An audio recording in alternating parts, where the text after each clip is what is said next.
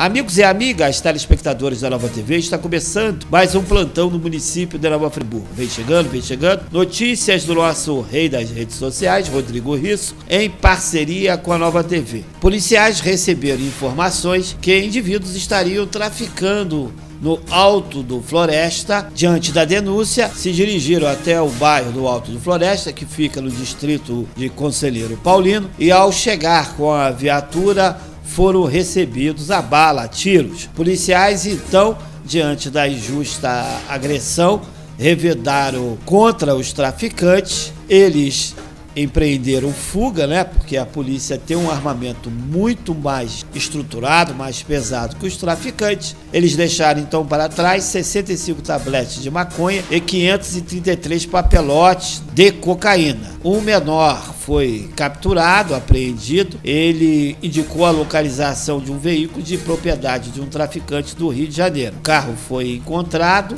e no seu interior havia um revólver calibre 38. A ocorrência foi apresentada na centésima quinquagésima primeira DP, onde a autoridade policial lavrou o auto de prisão em flagrante. Lembramos ao telespectador que o nosso telefone é o 2522 9058, nosso WhatsApp é o 999 090701, nosso portal está aí, basta você acessar.